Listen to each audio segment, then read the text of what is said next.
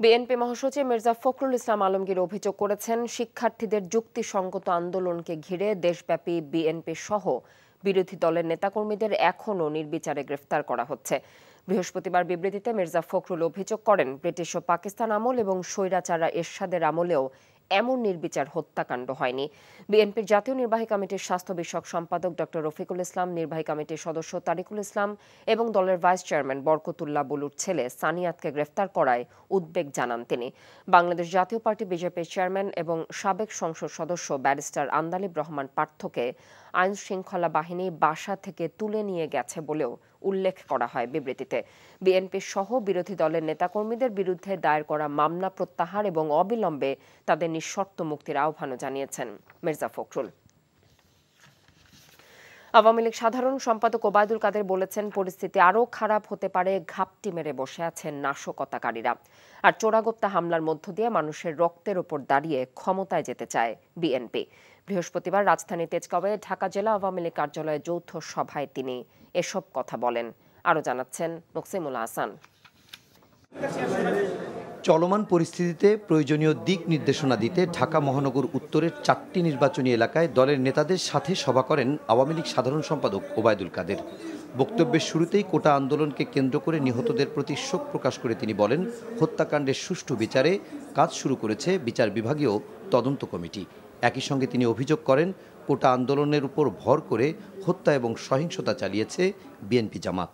এ আন্দোলনের কুশীলক তারেকের নেতৃত্বে বিএনপি জামাতের দোসররা। কিছুদিন আগে ঢাকা মহানগর বিভিন্ন জায়গায় বিএনপির কমিটিতে রদ বদল হয়েছে। তারা নতুন নেতৃত্বে চিহ্নিত সন্ত্রাসীদের পদায়ন করেছে।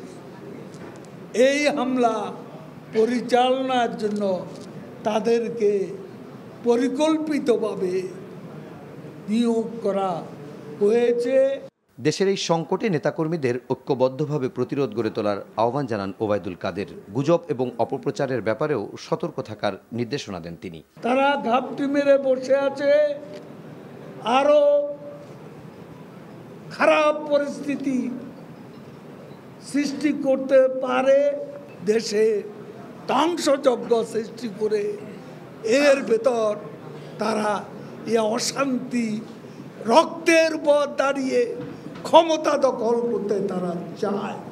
দেশের এই পরিস্থিতিতে সমাজের অসহায় খেটে খাওয়া মানুষের পাশে দাঁড়াতে দলের নেতাকর্মী এবং সমাজের বিত্তবানদের প্রতি আহ্বান জানান আওয়ামী লীগ সাধারণ সম্পাদক। Muksimul Ahsan NTV news, Dhaka. এখন জন্ম সনদ দিয়ে খোলো বিকাশ স্টুডেন্ট অ্যাকাউন্ট। নিজের বিকাশ নিজে কর। বাংলাদেশের সাম্প্রতিক সহিংসতার সব ঘটনা স্বচ্ছ বিশ্বাসযোগ্যভাবে তদন্ত করা উচিত বলে মন্তব্য করেছেন জাতিসংঘ মহাসচিবের মুখপাত্র স্টেফেন ডোজারিক। মানুষের শান্তিপূর্ণ বিক্ষোভ করার অধিকার আছে বলেও উল্লেখ করেন তিনি। অন্যদিকে, সরকারের কাছে নিহতদের তালিকা চেয়েছে জাতিসংঘ মানবাধিকার কমিশন। এদিকে বিক্ষোভের অধিকারের প্রতি সম্মান প্রদর্শন, সহিংস দমনাভিযান এবং যোগাযোগ ব্যবস্থার উপর সব ধরনের বিধিনিষেধ অবিলম্বে প্রত্যাহারে বাংলাদেশ সরকার এবং আইন শৃঙ্খলা রক্ষাকারী সংস্থাগুলোর প্রতি আহ্বান জানিয়েছে অ্যামনেস্টি ইন্টারন্যাশনাল আইন শৃঙ্খলা বাহিনীর সদস্যদের মানবাধিকার লঙ্ঘনের সব ঘটনার তদন্ত দাবি করে হতাহত ব্যক্তিদের রাষ্ট্রীয় উদ্যোগে পুনর্বাসন করার দাবি জানিয়েছে সংস্থাটি। সাম্প্রতিক সহিংসতা ও বিশৃঙ্খলায় চরমভাবে দেশের ভাবমূর্তি ক্ষুণ্ণ হয়েছে আন্তর্জাতিক অঙ্গনে। এ তথ্য জানিয়ে অর্থনীতিবিদরা বলছেন আগামীদের খেসারত দিতে হবে দেশের অর্থনীতিকে। বিশেষ করে রপ্তানি আর বিদেশি বিনিয়োগের সবচেয়ে বেশি নেতিবাচক প্রভাব পড়বে বলে আশঙ্কা তাদের। হাসানুল শাওনের রিপোর্ট। সাম্প্রতিক বিশৃঙ্খলায় বড় ধরনের ধাক্কা খেয়েছে দেশের অর্থনীতি, কারণ উদ্ভূত পরিস্থিতিতে বেশ কদিন স্থবির ছিল ব্যবসা বাণিজ্য, মূল্যস্ফীতি, রপ্তানি আর বিনিয়োগ সহ অর্থনীতির বেশিরভাগ সূচকেই পড়বে এর নেতিবাচক প্রভাব, যার ঘানি টানতে হবে অনেক দিন বৈদেশিক মুদ্রার রিজার্ভে টানাপোড়েনের সময়ও অনেক দিন ধরেই মন্থর গতি রপ্তানিতে। সাম্প্রতিক পরিস্থিতিতে বেশ কদিন বন্ধ ছিল সব ধরনের রপ্তানিমুখী কারখানা। অর্থনীতিবিদরা বলছেন, এতে বিদেশি ক্রেতাদের আস্থা কমেছে। বায়ার কিন্তু আপনার দেশের অভ্যন্তরীণ বিষয়গুলো দেখবেন। তারা তাদের লিড টাইম দেখবে। তারা তাদের প্রোডাক্ট তারা ঠিকমতো পাচ্ছে কিনা সেই কমিটমেন্টগুলো দেখবে। তো সব কিছু মিলে আমাদের এক্সপোর্ট তো একটা ধাক্কার মধ্যে আহ, পড়ছেই। বাংলাদেশকে নিয়ে যে ভাবমূর্তি বিদেশে সেটা ভয়ানকভাবে ক্ষুণ্ণ হয়েছে। দীর্ঘমেয়াদী ইম্প্যাক্ট হচ্ছে যে কিছু কোম্পানি হয়তো ছুটে যেতে পারে যারা বাংলাদেশ থেকে গার্মেন্টস কিনতো। তারা হয়তো এখন ভিয়েতনামে চলে যাবে ইন্দোনেশিয়া চলে যাবে ভারতে চলে যাবে। আর নাও ফিরতে পারে তারা। অন্যদিকে করোনা পরবর্তী সময়ে বিদেশি বিনিয়োগ আকর্ষণে হিমশিম খাচ্ছিল বাংলাদেশ। কাঙ্ক্ষিত বিনিয়োগ আনাটা এখন আরও চ্যালেঞ্জিং হবে বলেও জানান অর্থনীতিবিদরা। এই পরিবেশে তো বিনিয়োগের প্রস্তুতি উঠে না সেটা দেশি বিনিয়োগই হোক আর ফরেন ডাইরেক্ট ইনভেস্টমেন্টই হোক কোনোটাই হবে না। বিনিয়োগ যারা হয়তো চিন্তা করতো বাংলাদেশকে নিয়ে তারা হয়তো সেটা অল্টারনেট ডেস্টিনেশনে তারা চলে যাচ্ছে সেটা তার ফিরবে না গন বিদেশিদের কাছে আমাদের একটা বার্তা দিবে যে আমাদের কস্ট অফ ডুইং বিজনেস কিন্তু এমনিতেই বেশি। বহির্বিশ্বে যে একটা আমাদের যে ইমেজের যে বিষয়টা আছে, সেই জায়গাটা, সেটা সেফটি সিকিউরিটির থেকে আরম্ভ করে ফরেন ইনভেস্টমেন্টের ক্ষেত্রে আমরা সবসময় বলি যে আমাদের ইনভেস্টমেন্ট লাগবে। ইনভেস্টমেন্ট যদি না হয় এফডিআই বেসড ইন্ডাস্ট্রিয়ালাইজেশন লাগবে। তো সেই জায়গাগুলো কিন্তু আমাদের জন্য একটা চ্যালেঞ্জের মুখোমুখি হলো। বিদেশি বিনিয়োগ বাড়াতে সামনের দিনে আইন শৃঙ্খলা পরিস্থিতি স্বাভাবিক রাখার তাগিদ অর্থনীতিবিদদের। Hasanul Shaon, NTV news, Dhaka. সরকারি চাকরিতে কোটা সংস্কারের দাবির আন্দোলন দমনে বল প্রয়োগতার সুযোগে স্বার্থান্বেষী সহিংস মহলের অপতৎপরতা যুক্ত হয়ে সংঘটিত প্রাণহানি ও ভয়াবহতাকে সুশাসনের প্রকট ঘাটতির নির্মম চিত্র হিসেবে উল্লেখ করেছে ট্রান্সপারেন্সি ইন্টারন্যাশনাল বাংলাদেশ। টিআইবি বৃহস্পতিবার এক বিবৃতিতে টিআইবি নির্বাহী পরিচালক ডক্টর ইফতেখারুজ্জামান বলেন, একটি শান্তিপূর্ণ আন্দোলন ক্ষমতাসীন দলের দায়িত্বশীল নেতৃত্বের একাংশের অপরিণামদর্শী উস্কানের ফলশ্রুতিতে এমন রক্তক্ষয়ী অবস্থানে দাঁড়ায় যা সুশাসন ও জবাবদিহি ব্যবস্থার প্রকট ঘাটতির দৃষ্টান্ত তুলে ধরছে। তিনি অবিলম্বে শিক্ষার্থীদের যৌক্তিক দাবি মেনে নিয়ে আস্থার পরিবেশ তৈরির তাগিদ দেন। বলেন, দাবি বাস্তবায়ন করে দেশব্যাপী অস্থিরতা ও আতঙ্ক দূর করতে হবে। ইন্টারনেট বন্ধ রাখা সরকারের স্ববিরোধী ও সাময়িক সুবিধার স্বার্থে অদূরদর্শিতার প্রমাণ মাত্র। বিবৃতিতে বলা হয়, অর্থনৈতিক ব্যবস্থায় প্রাণ ফেরানো তথ্যের অবাধ প্রবাহ নিশ্চিতে মোবাইল ও ব্রডব্যান্ড ইন্টারনেট সেবা পুরোদমে চালু করতে সরকারের প্রতি আহ্বান জানায় টিআইবি। সরকারি চাকরিতে কোটা সংস্কারের দাবির আন্দোলন দমনে বল প্রয়োগ ও সহিংস মহলের অপতৎপরতা যুক্ত হয়ে সংঘটিত প্রাণহানি ও ভয়াবহতাকে সুশাসনের প্রকট ঘাটতির নির্মম চিত্র হিসেবে উল্লেখ করেছে ট্রান্সপারেন্সি ইন্টারন্যাশনাল বাংলাদেশ টিআইবি বৃহস্পতিবার এক বিবৃতিতে টিআইবির নির্বাহী পরিচালক ডক্টর ইফতেকারুজ্জামান বলেন একটি শান্তিপূর্ণ আন্দোলন ক্ষমতাসীন দলের দায়িত্বশীল নেতৃত্বের একাংশের অপরিণামদর্শী উস্কানির কারণে এমন রক্তক্ষয়ী অবস্থানে দাঁড়ায়, যা সুশাসন ও জবাবদিহি ব্যবস্থার প্রকট ঘাটতির দৃষ্টান্ত তুলে ধরছে। তিনি অবিলম্বে শিক্ষার্থীদের যৌক্তিক দাবি মেনে নিয়ে আস্থার পরিবেশ তৈরির তাগিদ দেন। বলেন, দাবি বাস্তবায়ন করে দেশব্যাপী অস্থিরতা ও আতঙ্ক দূর করতে হবে। বিবৃতিতে বলা হয়, অর্থনৈতিক ব্যবস্থায় প্রাণ ফেরানো ও তথ্যের অবাধ প্রবাহ নিশ্চিতে মোবাইল ও ব্রডব্যান্ড ইন্টারনেট সেবা পুরোদমে চালু করতে সরকারের প্রতি আহ্বান জানায় টিআইবি। চাঁদপুরে ইলিশ সরবরাহ বেড়েছে, তাই জেলেরাও খুশি, সেই খবর জানিয়েছেন স্থানীয় প্রতিনিধি শরীফুল ইসলাম। দেশের অন্যতম মৎস্য আড়ত চাঁদপুর বড় স্টেশন মাঝঘাটে গত কয়েকদিন ধরে ইলিশের সরবরাহ বেড়েছে। একদিকে চাঁদপুরের পদ্মা বেগনা আহরিত ইলিশ চাঁদপুর মাঝঘাটে নিয়ে আসা হচ্ছে। অন্যদিকে সাগরের যে পঁয়ষট্টি দিনের নিষেধাজ্ঞা ছিল তারপর থেকেই সেই ইলিশ চাঁদপুর মাঝঘাটে নিয়ে আসার কারণে এখন চাঁদপুর মাঝঘাট পুরোদমে সরগরম রয়েছে। কারফিউ শিথিলের সময় বাড়ায় ছুটির দিনে রাজধানীর বিভিন্ন সড়কে সকাল থেকেই যানবাহনের চাপ দেখা গেছে। তবে গুরুত্বপূর্ণ মোড় সহ বিভিন্ন সড়কে আইন শৃঙ্খলা রক্ষাকারী বাহিনীর সদস্যরা সতর্ক অবস্থানে আছেন। সেই খবর জানিয়েছেন সিনিয়র করেসপন্ডেন্ট আপেল শাহরিয়ার। রাজধানীতে সকাল আটটা থেকে বিকেল পাঁচটা পর্যন্ত কারফিউ শিথিল করা হয়েছে। এ সময় প্রয়োজনীয় কাজকর্ম সারতে সড়কে অনেকেই আসলে বের হয়েছেন ঘর থেকে। আজকে সরকারি ছুটি হওয়ার কারণে সেই সংখ্যাটি অনেকটাই কম। আমি আসলে রাজধানীর বিভিন্ন জায়গা ঘুরে দেখলাম। এখন আমি বর্তমানে পল্টন মোড়ে অবস্থান করছি। ব্যক্তিগত গাড়ির সংখ্যাটা কিছুটা বেড়েছে, আছে, তবে গণপরিবহনের সংখ্যা কিছুটা কম। আপনি যদি একটু দেখাই যে পল্টন মোড়ে এখানে কিন্তু পুলিশের একটি ব্যাপক উপস্থিতি লক্ষ্য করা যাচ্ছে। জুম্মার নামাজের পরে কোনো ধরনের সহিংসতার ঘটনা ঘটে কিনা, এই জন্য তারা এখানে তৎপর রয়েছেন।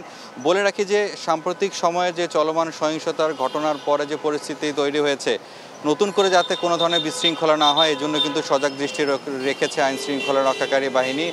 মূলত ওই সময়ে রাজধানীর যেসব জায়গাতে বেশি সহিংসতার ঘটনা ঘটেছে, মোহাম্মদপুর উত্তরা, রামপুরা, এই পল্টন এলাকা, যাত্রাবাড়ি, এখানে কিন্তু তৎপরতা চোখে পড়ার মতো তারা জোরদার করেছেন সেনাবাহিনীর টহল।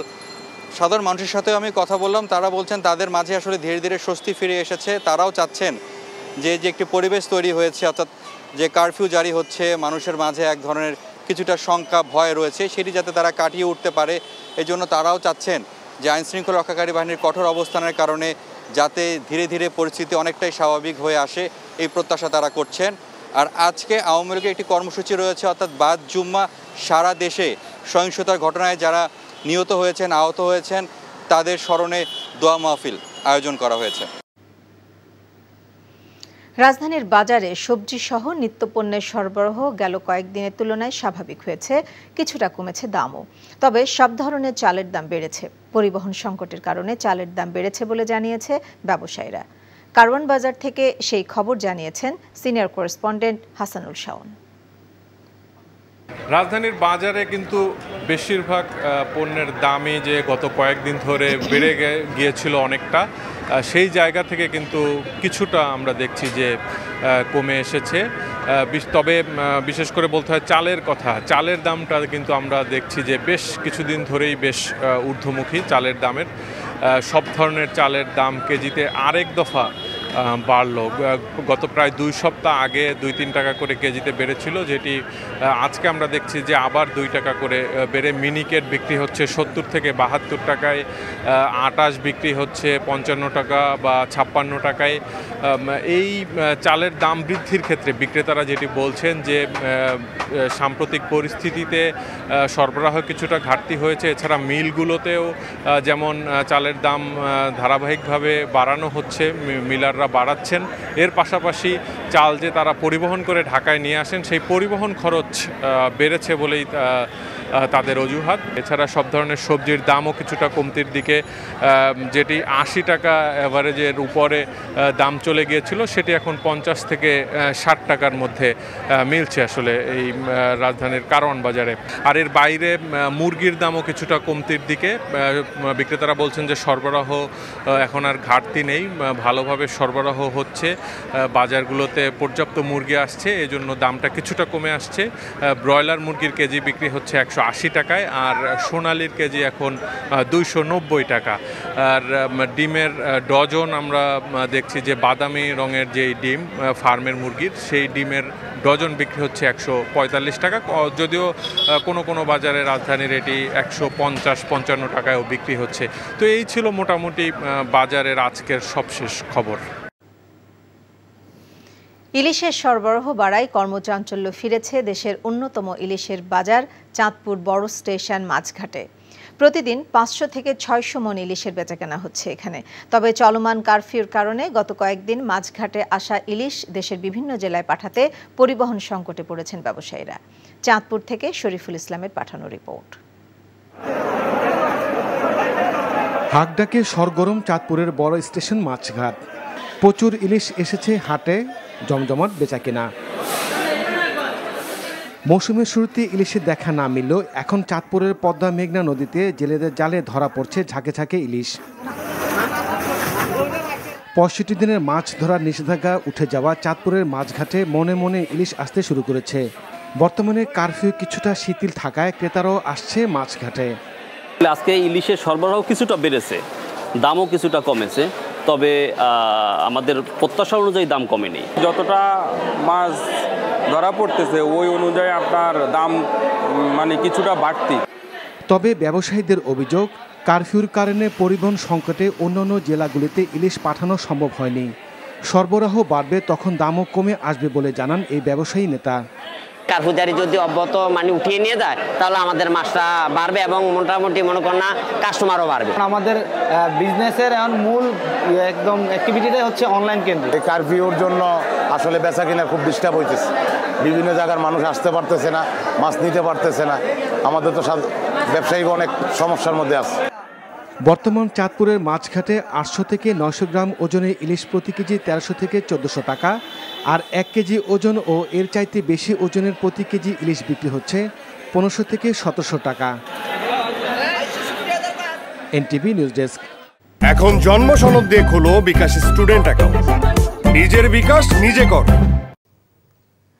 শিক্ষার্থীদের আন্দোলনের সুযোগ নিয়ে বিএনপি জামায়াত ও উগ্র বামপন্থীরা সরকার উৎখাতে ষড়যন্ত্র করছে বলে অভিযোগ করেছেন আওয়ামী লীগ সাধারণ সম্পাদক ওবায়দুল কাদের। সকালে দলীয় সভাপতির ধানমন্ডি কার্যালয়ে প্রশ্নের জবাবে এই অভিযোগ করেন তিনি।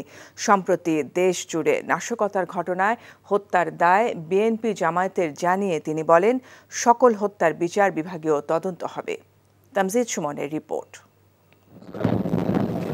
সমসাময়িক বিষয় নিয়ে আওয়ামী লীগের সভাপতির ধানমন্ডি কার্যালয়ে সংবাদ সম্মেলনে উঠে আসে সম্প্রতি দেশজুড়ে নাশকতার বিষয়টি।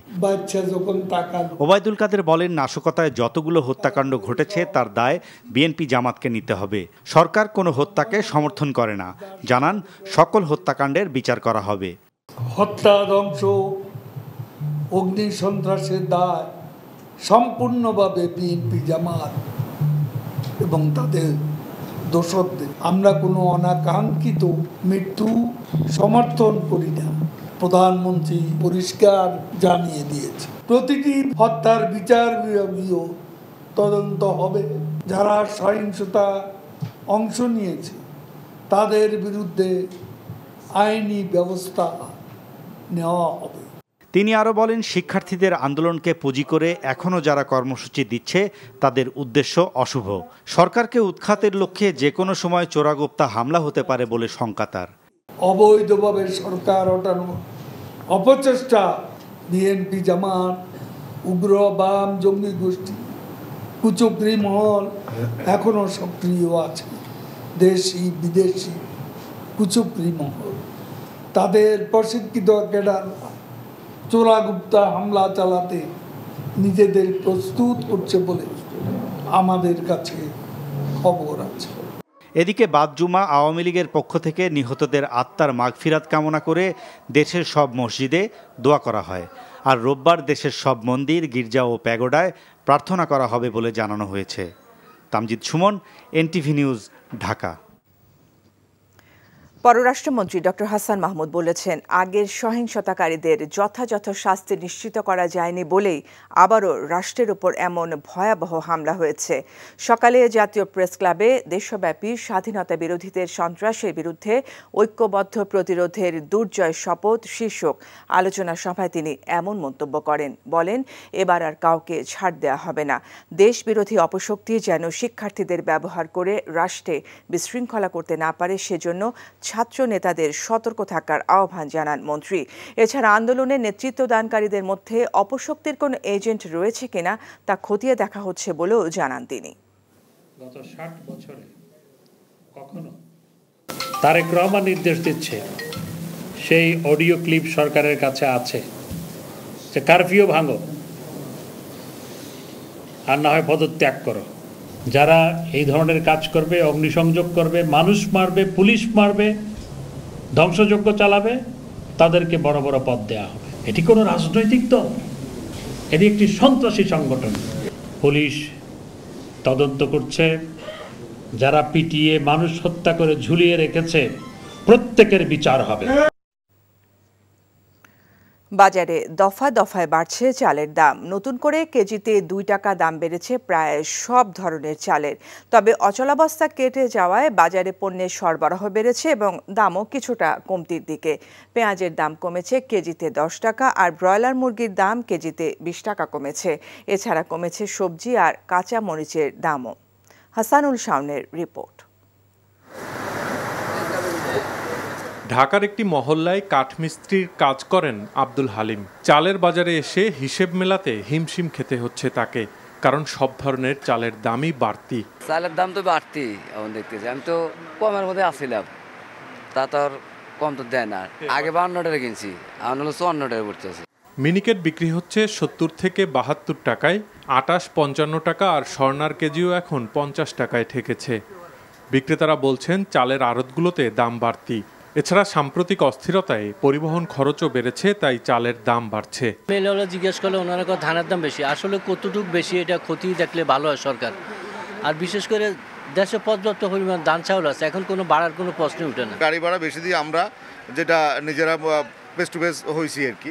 তো আসলে সব কিছু মিলিয়ে কিন্তু বাজারে দেখা গেছে প্রত্যেক বস্তা চালে পঞ্চাশ থেকে একশো টাকা কোয়ালিটি ভেদে বাড়ছে। তবে সাম্প্রতিক অচলাবস্থার সময়ে সরবরাহের ঘাটতির কারণে বেশিরভাগ সবজির দাম আকাশ ছুঁয়েছিল। এখন সেই চড়া দাম কমতে শুরু করেছে। পঞ্চাশ থেকে আশি টাকার মধ্যেই মিলছে বেশিরভাগ সবজি। এছাড়া কাঁচামরিচের দামও কমেছে। কেজি এখন একশো বিশ থেকে একশো আশি টাকা। একদম অতিরিক্ত মাল আছে এমন আওয়া আইছে যে মাল কারণ মধ্যে এক সপ্তাহ না না আসলেও সমস্যা নাই। কিছুদিন আগে দেখা যাইতেছে আমি আড়াইশো গ্রাম মরিচ নিছি আপনার নব্বই টাকায়। আর সেই ক্ষেত্রে এখন কেজি নিতেছি একশো ষাট টাকা। একটু সাশ্রয়ী মূল্যে কিনতে পারতেছি। কিন্তু এই ভালো লাগাটা অব্যাহত থাকতো যদি সারা বছর এই দামে কিনতে পারতাম। কমেছে পেঁয়াজের দামও দেশি পেঁয়াজের কেজি এখন একশো দশ টাকা। এছাড়া সব ধরনের মুরগির দামই কমতির দিকে। ব্রয়লারের কেজি এখন একশো আশি টাকা আর সোনালির কেজি মিলছে দুইশো নব্বই টাকায়। লোকজন বাইরে হইতেছে কম বিক্রি অনেক কম। কিনতেছি কম এই জন্য একটু দামও কম। এছাড়া রাজধানীতে ফার্মের মুরগির বাদামি রঙের ডিমের ডজন বিক্রি হচ্ছে একশো পঁয়তাল্লিশ থেকে একশো পঞ্চাশ টাকায়। Hasanul Shaon NTV news Dhaka. যে সরকার ক্ষমতা রক্ষা করতে মানুষকে হত্যা করে এবং রাষ্ট্রীয় স্থাপনার নিরাপত্তা নিতে ব্যর্থ হয়, তাদের ক্ষমতায় থাকার অধিকার নেই। বিএনপি মহাসচিব মির্জা ফখরুল ইসলাম আলমগীর এক বিবৃতিতে এমন মন্তব্য করেছেন। বিবৃতিতে তিনি বলেন, গত কয়েকদিনে কতজন নিরীহ মানুষকে হত্যা ও পঙ্গু করা হয়েছে, জনগণ তার সঠিক পরিসংখ্যান জানতে চায়। নিজেদের ব্যর্থতা আড়াল করতে সরকার এখন বিএনপি সহ বিরোধী পক্ষের নেতাকর্মীদের গণহারে গ্রেফতার করে যাচ্ছে। তিনি বলেন, গ্রেফতারকৃতদের গুম করে নির্যাতন করে চার পাঁচ দিন পর আদালতে হাজির করা হচ্ছে, যে আইন ও মানবাধিকারের লঙ্ঘন। অবিলম্বে সেনাবাহিনীকে ব্যারাকে ফিরিয়ে নেয়ার দাবি জানান মির্জা ফখরুল। বলেন, রাষ্ট্রীয় বাহিনী ব্যবহার করে শিক্ষার্থীদের ব্লক রেড দিয়ে গ্রেফতার করা হচ্ছে। বাজারে দফায় দফায় বাড়ছে চালের দাম। নতুন করে কেজিতে দুই টাকা বেড়েছে প্রায় সব ধরনের চালের। পেঁয়াজের দাম কমেছে কেজিতে দশ টাকা আর ব্রয়লার মুরগির দাম কেজিতে বিশ টাকা কমেছে। এছাড়া কমেছে সবজি আর কাঁচামরিচের দামও। হাসানুল শাহরের রিপোর্ট। ঢাকার একটি মহল্লায় কাঠমিস্ত্রির কাজ করেন আব্দুল হালিম। চালের বাজারে এসে হিসেব মেলাতে হিমশিম খেতে হচ্ছে তাকে। কারণ সব ধরনের চালের দামই বাড়তি। চালের দাম তো বাড়তি এখন দেখতেছি। আমি তো কমের মধ্যে আসছিলাম তা তো আর কম তো দেয় না। আগে বান্ন টাকা কিনছি এখন হলো চুয়ান্ন টাকা পড়তেছে। মিনিকেট বিক্রি হচ্ছে সত্তর থেকে বাহাত্তর টাকায় আটাশ পঞ্চান্ন টাকা আর স্বর্ণার কেজিও এখন পঞ্চাশ টাকায় ঠেকেছে। মেলে হলে জিজ্ঞেস করলে ওনারা কথা ধানের দাম বেশি? আসলে কতটুকু বেশি এটা ক্ষতি দেখলে ভালো হয় সরকার। আর বিশেষ করে দেশে পর্যাপ্ত পরিমাণ ধান চাউল আছে এখন কোনো বাড়ার কোনো প্রশ্নই উঠে না। তবে সাম্প্রতিক অচলাবস্থার সময়ে সরবরাহের ঘাটতির কারণে বেশিরভাগ সবজির দাম আকাশ ছুঁয়েছিল। এখন সেই চড়া দাম কমতে শুরু করেছে। পঞ্চাশ থেকে আশি টাকার মধ্যেই মিলছে বেশিরভাগ সবজি। এছাড়া কাঁচামরিচের দামও কমেছে। কেজি এখন একশো বিশ থেকে একশো আশি টাকা। একদম অতিরিক্ত মাল আছে এমন আওয়া আইছে যে মাল কারোর মধ্যে এক সপ্তাহ না না আসলেও সমস্যা নাই। একটু সাশ্রয়ী মূল্যে কিনতে পারতেছি। কিন্তু এই ভালো লাগাটা অব্যাহত থাকতো যদি সারা বছর এই দামে কিনতে পারতাম। কমেছে পেঁয়াজের দামও দেশি পেঁয়াজের কেজি এখন একশো দশ টাকা। এছাড়া সব ধরনের মুরগির দামই কমতির দিকে। ব্রয়লারের কেজি এখন একশো আশি টাকা আর সোনালির কেজি মিলছে দুইশো নব্বই টাকায়। লোকজন বাইরে হইতেছে কম বিক্রি অনেক কম।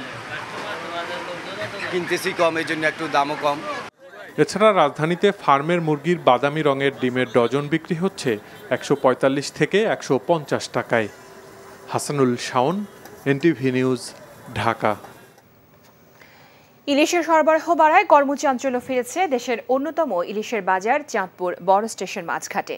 প্রতিদিন পাঁচশো থেকে ছয়শো মন ইলিশের বেচাকেনা হচ্ছে এখানে। তবে চলমান কারফিউয়ের কারণে গত কয়েকদিন মাঝঘাটে আসা ইলিশ দেশের বিভিন্ন জেলায় পাঠাতে পরিবহন সংকটে পড়েছেন ব্যবসায়ীরা। চাঁদপুর থেকে শরীফুল ইসলামের পাঠানো রিপোর্ট। হাকডাকে সরগরম চাঁদপুরের বড় স্টেশন মাছঘাট প্রচুর ইলিশ এসেছে হাটে, জমজমাট বেচা কেনা মৌসুমের শুরুতে ইলিশের দেখা না মিললেও এখন চাঁদপুরের পদ্মা মেঘনা নদীতে জেলেদের জালে ধরা পড়ছে ঝাঁকে ঝাঁকে ইলিশ। পঁয়ষট্টি দিনের মাছ ধরার নিষেধাজ্ঞা উঠে যাওয়া চাঁদপুরের মাছঘাটে মনে মনে ইলিশ আসতে শুরু করেছে।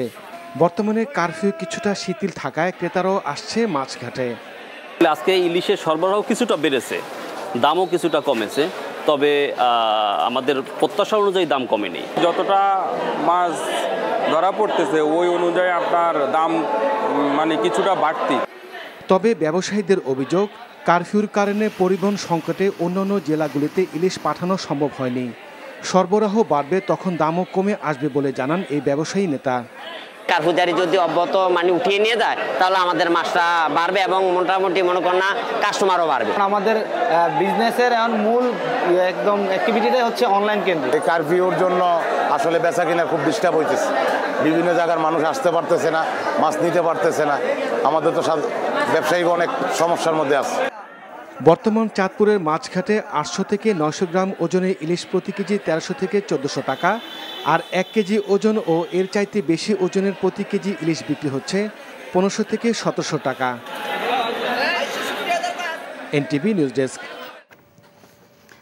শিক্ষার্থীদের আন্দোলন ও কারফিউয়ের কারণে রাঙামাটিতে পর্যটন খাতে ব্যাপক ধস নেমেছে। এ অবস্থায় উদ্বিগ্ন ব্যবসায়ীরা। বর্ষায় মোহনীয় রূপে জেগে ওঠে রাঙামাটি। পাহাড়ের নবরূপ দেখতে প্রতি বছর সৌন্দর্য পিপাসুদের ভিড় দেখা যায় এই জেলায়। কিন্তু সিম্বল অফ রাঙামাটি খ্যাত ঝুলন্ত সেতু সহ এখানকার বিভিন্ন বিনোদন কেন্দ্রগুলো এখন শুনসব নিরাপত্তায় পর্যটক শূন্য পর্যটন স্পটগুলো অলস সময় আর হতাশা নিয়ে দিন পার করছেন পর্যটন সংশ্লিষ্টরা। ব্যাপক লোকসান গুনতে হচ্ছে তাদের।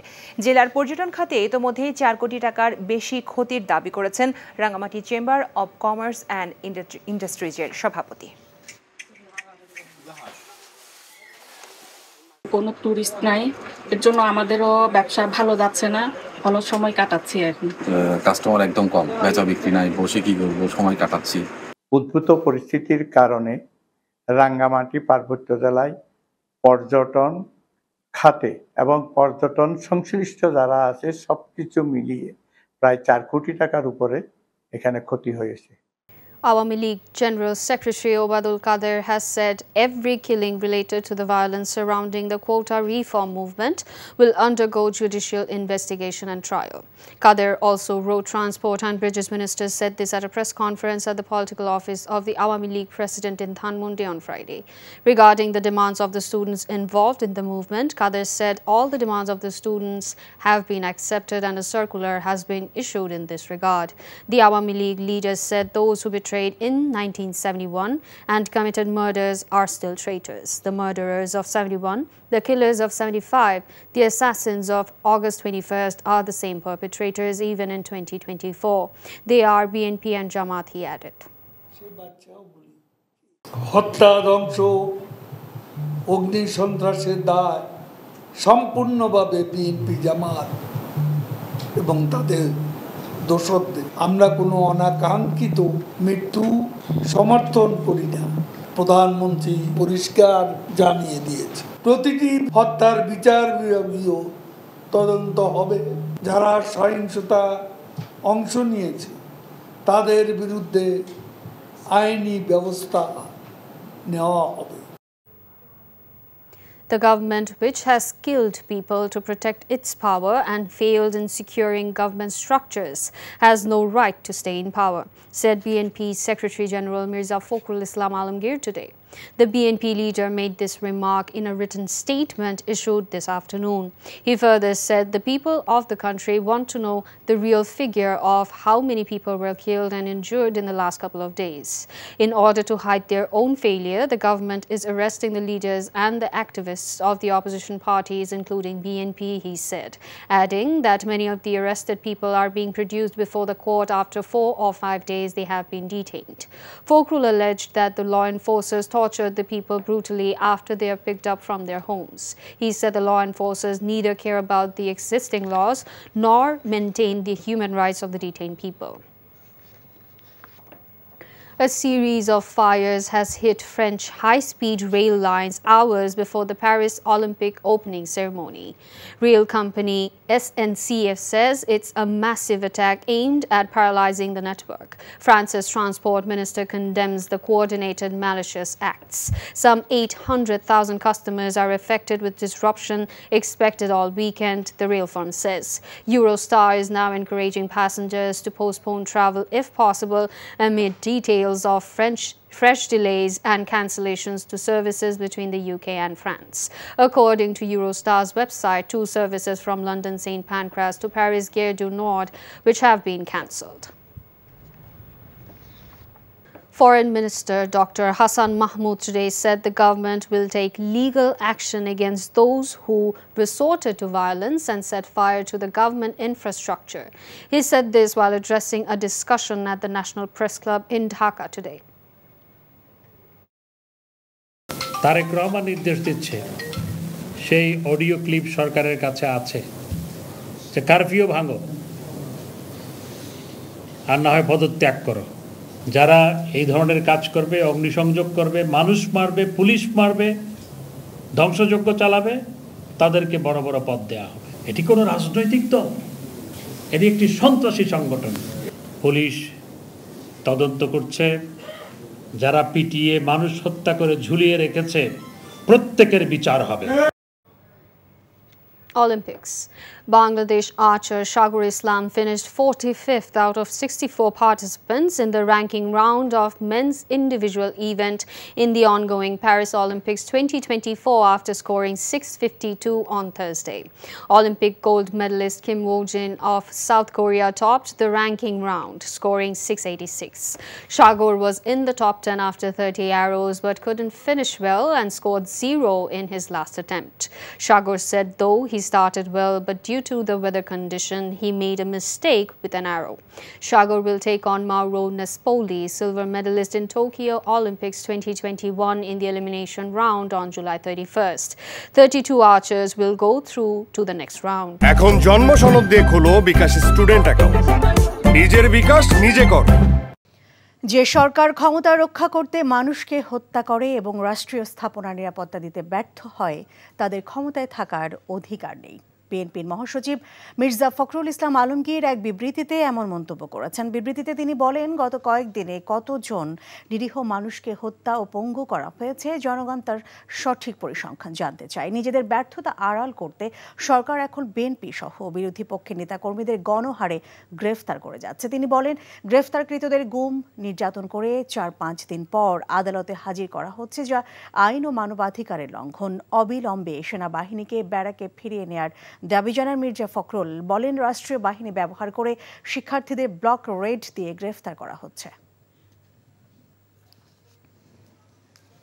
শিক্ষার্থীদের আন্দোলনের সুযোগ নিয়ে বিএনপি জামাত ও উগ্র বামপন্থীরা সরকার উৎখাতে ষড়যন্ত্র করছে বলে অভিযোগ করেছেন আওয়ামী লীগ সাধারণ সম্পাদক ওবায়দুল কাদের। সকালে দলীয় সভাপতি ধানমন্ডি কার্যালয়ে প্রশ্নের জবাবে তিনি বলেন, সম্প্রতি দেশ জুড়ে নাশকতা ও হত্যার দায়ে বিএনপি জামাতকে নিতে হবে। হত্যা, ধ্বংস, অগ্নি সন্ত্রাসের দায়, সম্পূর্ণভাবে বিএনপি জামাত এবং তাদের দোষরদের আমরা কোনো অনাকাঙ্ক্ষিত মৃত্যু সমর্থন করি না। প্রতিটি হত্যার বিচার বিভাগীয় তদন্ত হবে। অবৈধভাবে সরকার ওঠানো অপচেষ্টা। বিএনপি জামাত, উগ্র বাম জঙ্গি গোষ্ঠী কুচক্রি মহল এখনও সক্রিয় আছে। দেশি, বিদেশি কুচক্রী মহল। তাদের প্রশিক্ষিত ক্যাডার চোরাগুপ্তা হামলা চালাতে নিজেদের প্রস্তুত করছে বলে আমাদের কাছে খবর আছে। বাজারে দফায় দফায় বাড়ছে চালের দাম। নতুন করে কেজিতে দুই টাকা দাম বেড়েছে, প্রায় সব ধরনের চালের। পেঁয়াজের দাম কমেছে কেজিতে দশ টাকা, ব্রয়লার মুরগির দাম কেজিতে বিশ টাকা কমেছে।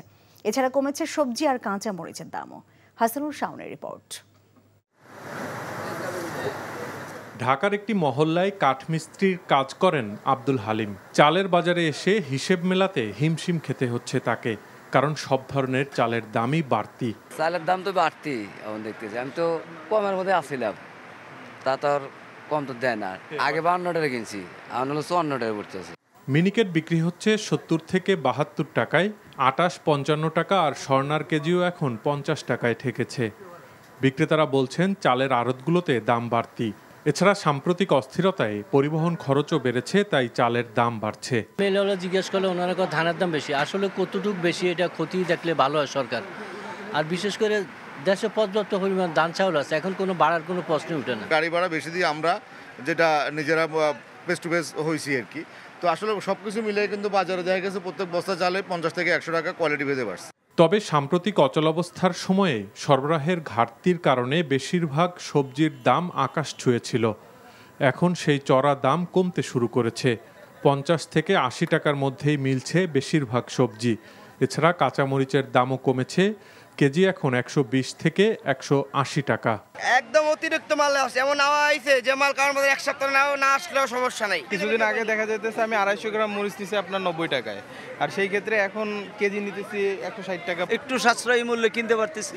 কিন্তু এই ভালো লাগাটা অব্যাহত থাকতো যদি সারা বছর এই দামে কিনতে পারতাম।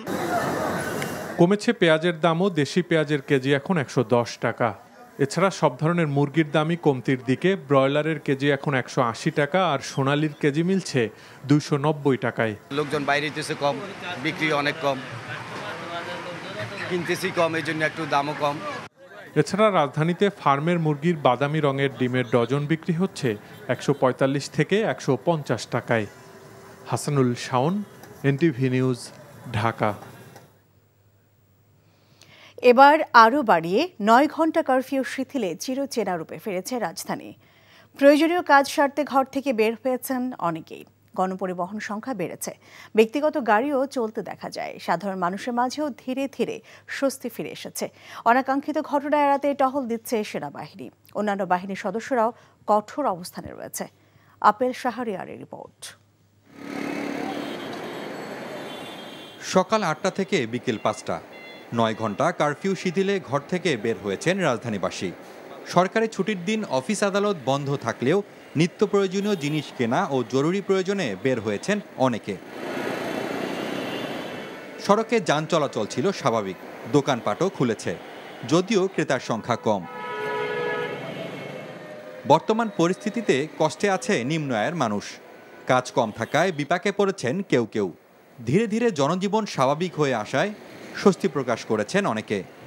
আমাদের অবস্থা খুব ভালোভাবে চলতেছে ভাই। কোনো ইনকাম করতে পারি না। কোনো চলাফেরা করে আমরা ঠিকভাবে বাজার ঘাট কিছু করতে পারি না। আমি অফিস থেকে বাইরেতে পারি। এমনকি খাওয়া দাওয়া করতে পারি। না। খাইয়ে অফিস করতে সরকার যদি সেনাবাহিনী না নামাই তো ওই তো ওই তাহলে দেশের অবস্থা খুব খারাপ। সরকার যেটা একটু বিভ্রান্ত করছিল এখন তো স্বাভাবিকভাবে সরকার মেনে নিছে। এখন জনগণ, এটা স্বাগত জানানো উচিত আর কি। এদিকে রাজধানীর গুরুত্বপূর্ণ সড়ক ও অলিগলিতে সেনাবাহিনী সহ আইনশৃঙ্খলা বাহিনীর উপস্থিতি লক্ষ্য করা যায়। সহিংসতার ঘটনায় জড়িতদের ধরতে এলাকাভিত্তিক ব্লক রেড দিচ্ছে যৌথ বাহিনী। Apel Shahriar, NTV news, Dhaka. Dhaka বিশ্ববিদ্যালয়ের হলগুলোতে তিনশোর মতো কক্ষ ভাঙচুর করা হয়েছে বলে জানিয়েছেন উপাচার্য অধ্যাপক doctor A S M Maksud Kamal. জানান, এসব কক্ষ সংস্কারের পর ক্যাম্পাস খুলে দেওয়া হবে। সকালে বিভিন্ন হলে ভাঙচুর হওয়া কক্ষ পরিদর্শন শেষে সাংবাদিকদের এসব কথা বলেন উপাচার্য। বিশ্ববিদ্যালয়ে ছাত্র রাজনীতি বন্ধ করা হবে না জানিয়ে উপাচার্য বলেন, ক্যাম্পাস খোলার পর শুধু নিয়মিত শিক্ষার্থীদের সিট বরাদ্দ দেওয়া হবে।